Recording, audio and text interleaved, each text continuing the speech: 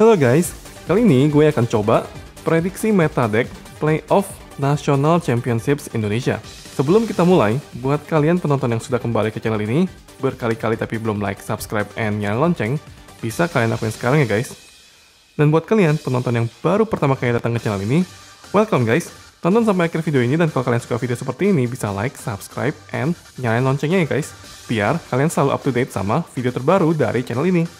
Oke, yuk kita masuk ya ke uh, prediksi meta playoff ya nasional. Oke, nah di sini ya nasional playoff meta deck prediction. Nah sebelum kita mulai ya kita akan coba ya lihat nih ada beberapa fun fact yang gua temuin ya guys ya.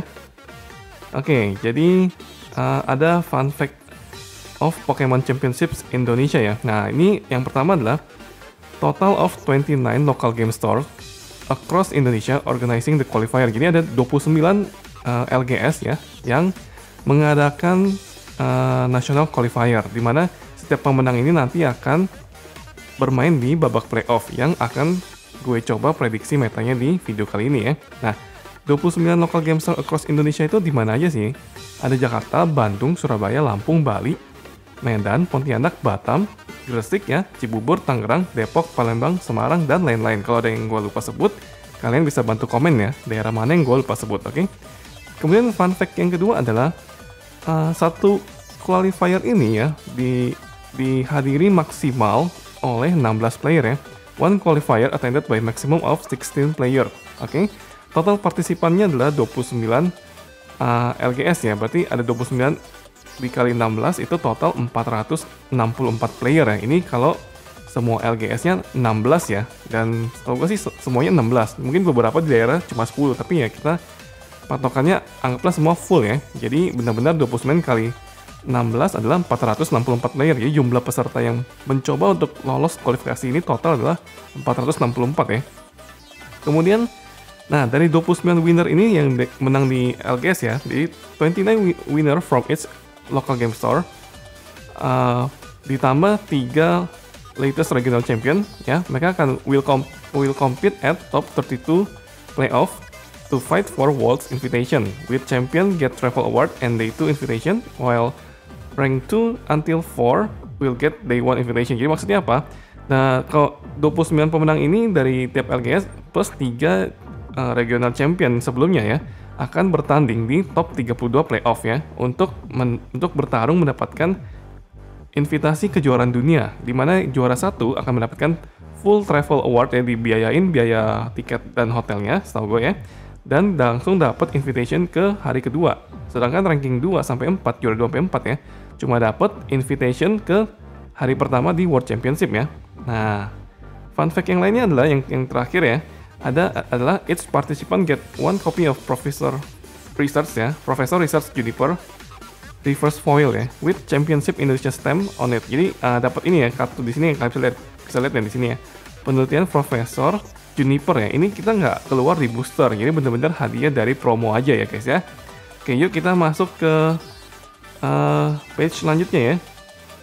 Setelah fun fact kita akan recap cepet ya. Ini some all name of the qualifier winner and the deck they are using. Jadi ini adalah nama uh, pemenang dari qualifier ya, babak qualifier ya, kualifikasi ya, beserta deck yang mereka pakai. Nah, di sini kan harusnya ada 29 ya. Nah, gue cuma berhasil mengumpulkan 27 orang nih. Dua lagi uh, atas sebenarnya ada dua atau empat orang ya ya. Uh, dengan alasan privasi mereka nggak nggak nge-share. Tapi ada dua lagi yang memang di-share sama official. Jadi ya total sebenarnya gue dapat 25 terus dari official dapat dua orang lagi ya. Jadi ya ini ya deck yang bisa kalian lihat ya dan nama-nama pesertanya. Secara cepat kalian bisa nanti pause aja kalau mau lihat semuanya ya. Gue nggak sebutin satu-satu karena kelamaan. Kita langsung dari 27 pemenang ini ya kita akan masuk ke uh, selanjutnya.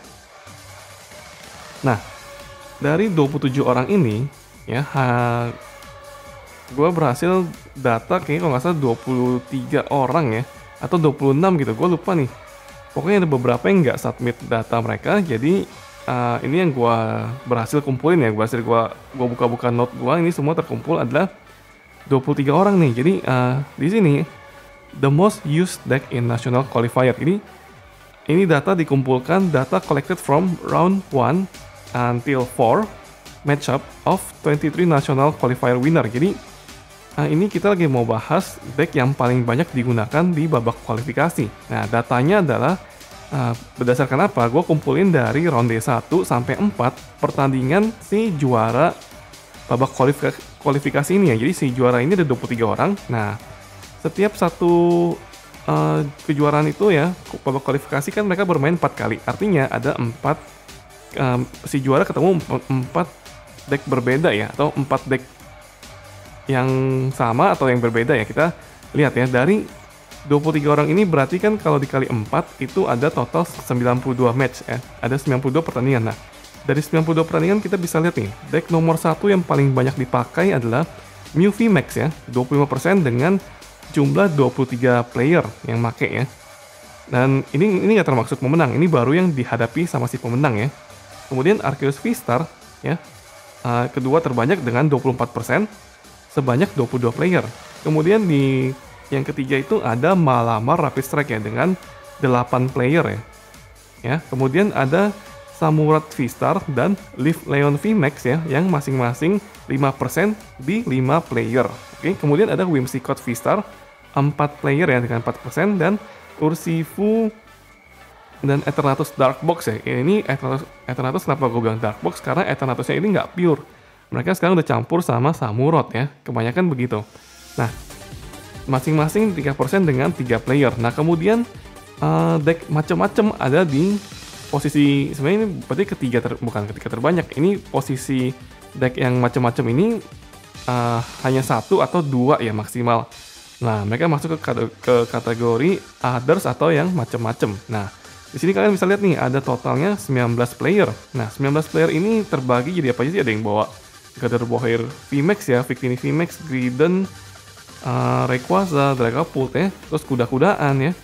Nah, terus deck One Pricer yang menarik ya guys ya. Ada Garchomp, ada Lucario Baby, ada Zoroark Box ini, ada masih ada yang Decidueye, Duran juga ada ya. Terus ada ini Water Toolbox ya ini ya, yang si Great Ninja ini. Kemudian ini Dark Box yang uh, Galarian Weezing, uh, Hoopa sama Galarian Moltres Baby ya.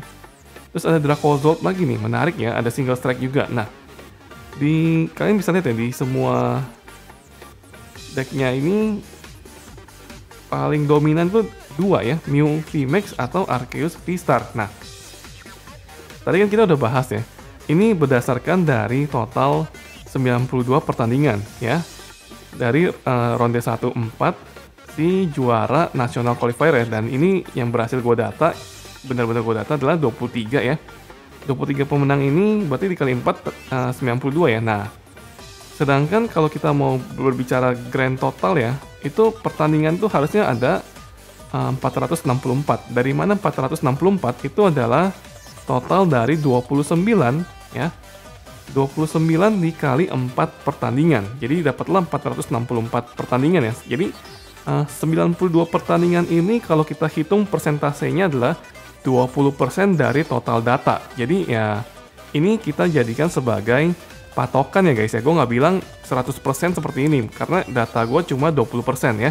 Nah tapi 20% ini dari data keseluruhan menurut gue cukup untuk memberikan gambaran ya. Uh, deck terbanyak yang dipakai itu ada apa aja ya. Oke. Okay? Nah dari deck yang banyak dipakai kita akan masuk selanjutnya ke deck yang dipakai oleh pemenang ya. Kita akan lihat ya, pemenang babak kualifikasi ini uh, pakainya deck apa aja. Nah, kita ya, lihat ya, winning deck at national qualifier ya. Data collected from 27 nets national qualifier winner. Jadi, nah data ini berhasil gue kumpulin dari 27 uh, pemenang ya babak kualifikasi. Jadi dua harusnya kan 29, dua orang lagi itu uh, gue nggak tahu namanya siapa dan gue nggak tahu decknya apa ya. Sedangkan uh, yang 27 ini dari gue tanya sendiri dan ada juga dari uh, website official uh, Instagram official ya. Nah kita akan lihat sama-sama ya. Uh, dari 27 orang yang menang di babak kualifikasi, deck apa sih yang paling banyak gitu ya?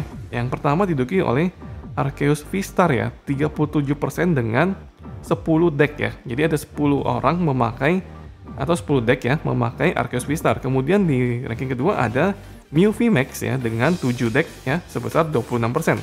Kemudian ada Samurai V-Star dengan 3 deck ya di 11% dan di bagian others ini ada 7 deck ya dengan 26% juga ya.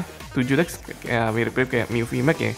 Nah, ini masing-masing satu nih, satu Malama Rapid Strike, satu Ice Rider, satu Urshifu, uh, Rapid Strike, Single Strike, terus ini Dark Box-nya Zoroark, terus ini Baby Lucario sama Dark Box juga nih. Dia campur kalau nggak salah sama um, Zoroark ya.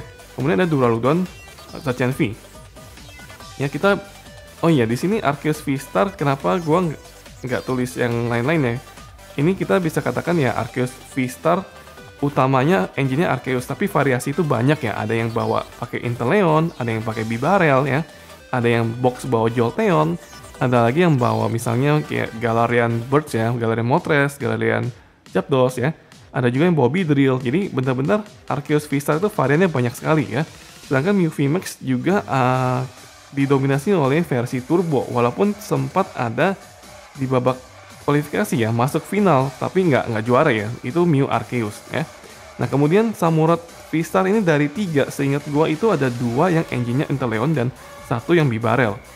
Nah, ini uh, kelihatan ya dari banyak yang apa deck yang paling banyak dipakai itu kan Arceus dan Mew ya. Jadi nggak heran nih orang-orang pakai decknya itu ya uh, untuk counter dua itu ya. Mew ketemu Mew ya oke okay lah ya. Arceus ketemu Mew ya bisa diakalin ya pakai uh, pukul dua price dua price dua price atau dia bisa comeback pakai PTTP Rosen ya. Di price ketiga mungkin Mew udah unggul. Biasanya kalau Mew kena PTTP dan Rosen nggak ada jawaban, mereka akan stuck ya guys ya. Oke, okay, um, sekarang kita udah tahu ya deck yang paling banyak digunakan selama babak kualifikasi itu apa. Kemudian kita lihat juga uh, deck yang paling banyak dipakai oleh pemenang ya, yang berhasil lolos. Itu deck apa? Nah, dari kedua data ini kita bisa prediksi ya. Nah, dari dua data ini, total data ini gua prediksi seperti ini ya guys ya. Kita masuk ke predictionnya ya. National Payoff Meta Triangle Prediction. Nah, gue sebutnya ini kita uh, prediksi meta segitiga ya, segitiga meta dari National Payoff ya. Nah, ada dua hal yang gue temuin ya di semua deck pemenang gitu. Mereka dua hal ini pasti ada di deck pemenang ya.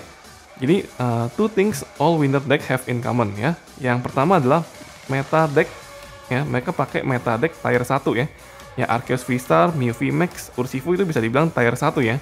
Dan yang kedua, hal yang kedua yang paling menarik adalah build to counter Mew VMAX, Arceus V-Star atau Urshifu Rapid Strike. Jadi uh, deck mereka itu mereka bikin ya sedemikian gitu ya di, di komposisinya itu untuk mengcounter Mew VMAX, Arceus V-Star atau Urshifu Rapid Strike ya.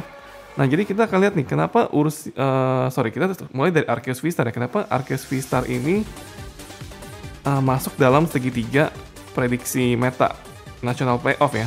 Karena Arceus ini sangat-sangat konsisten di mana serangannya dia itu ngecas ya untuk siapin penyerang selanjutnya dan dia punya V-Star Power itu bisa ambil dua kartu apa aja, tutor dua kartu apa aja itu sangat-sangat bikin uh, permainan Arceus itu nggak ketebak ya dan juga banyak banget play yang bisa dilakukan gitu. Hanya dengan kalian evolusi dari V-Star aja bisa uh, memainkan banyak hal lah ya. Dan kemudian uh, hebatnya apa? Karena dia ngecas energi dan dia colorless, dia bisa dimasukkan dengan kartu elemen apa aja. Nah, dua elemen yang paling sering gue temuin ya di deck pemenang adalah Arceus Twister ini mereka akan bawa Darkness dan Fighting ya. Gunanya apa? Fighting itu untuk mengcounter Mirror. Kalau ketemu Arceus juga ya mereka bawa Fighting biasanya punya uh, ke, punya keuntungan ya, advantage dibandingkan yang hanya membawa uh, Dark ya atau hanya pure bawa Inteleon dengan Arceus, eh bukan Inteleon, Arceus bawa Seren Scare ya. Nah, bahkan di Urshifu VMAX pun ya, walaupun dia uh, tipenya fighting, banyak yang membawa Galarian Moltres V atau Galarian Moltres yang baby ya. Atau juga bawa juga uh, Hupa malah. Eh nggak nggak Hupa, mungkin bukan Hupa, ya itu Galarian Moltres. Oh, Hupanya bawa tapi Hupa yang ini ya, Hupa yang uh, assault get ya. Nggak nggak kena weakness. Itu untuk uh, tag untuk bunuh meletanya si Mew ya.